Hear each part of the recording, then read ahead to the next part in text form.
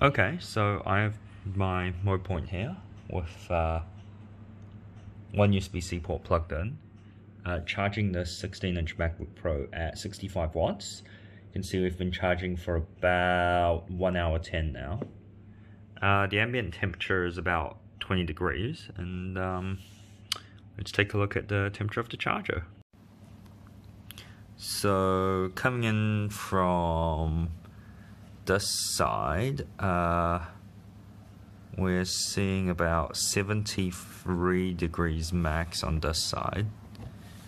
Um, I expect the other side to be hotter because it's up against the carpet.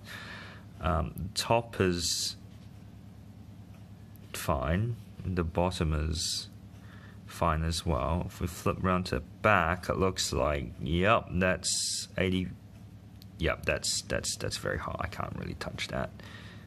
Uh, it's cooled down quite a bit now, uh, probably because it was insulated against the um, the carpet there. It's still very hot.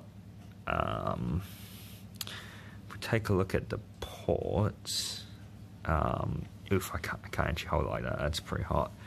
If we look into the connectors, we can see oh, like 90 degrees in there, uh, which is pretty yikes.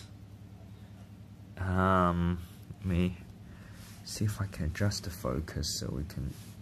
Okay, no, this is about as close as this camera will focus, but yeah, we can. We can see it's uh, it's pretty toasty in there. Um, so I've been checking the temperature of this um, as we've gone come along, and um, this is about the max temperature it reaches. Um, it hit about this temperature about half an hour ago, so it's probably going to stay like this, but still, it's pretty damn hot.